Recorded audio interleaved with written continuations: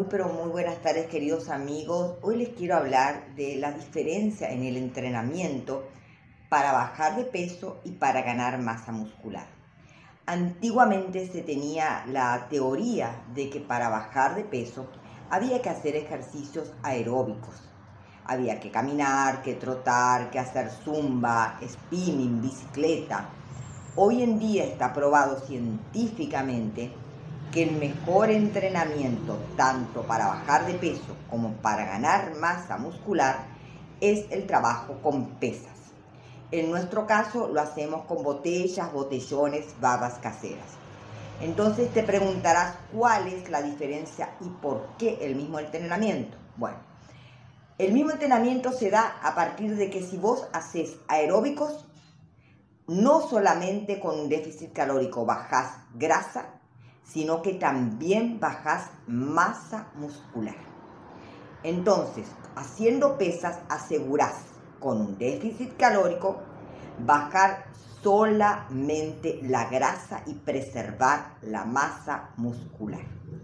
En ambos casos, tanto como para bajar de peso como para ganar masa muscular, hay que trabajar con un peso que nos esfuerce, donde terminemos las últimas repeticiones en un cansancio extremo, sin poder llegar a más. Hay que trabajar pesado y terminar cada repetición sintiéndonos cansados, sintiéndonos sin fuerzas para continuar.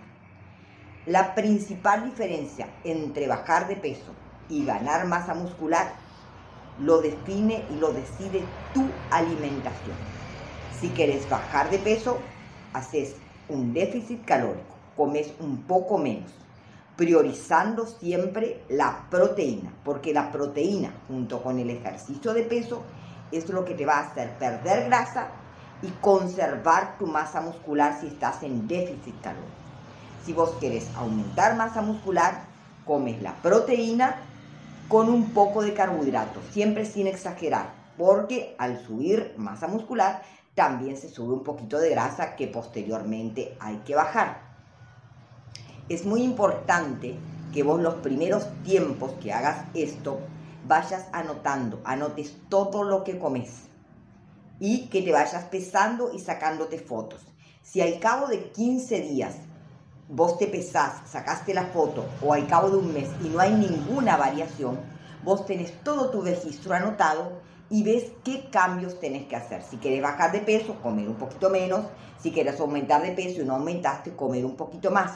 Porque recuerda, el entrenamiento es el mismo. Entrenar pesado, tratando de llegar al fallo y lo que define si vas a subir o vas a bajar es tu alimentación. Bueno, y eso es lo que te quería compartir el día de hoy. Espero te haya quedado claro y si no es así y tienes alguna, adulta, alguna duda, me escribís al Messenger. Yo en cualquier momento te respondo. A veces por la diferencia de horario demoro un poco más, pero yo siempre respondo. Y bueno, que también excelente el día de hoy y espero les haya servido la información.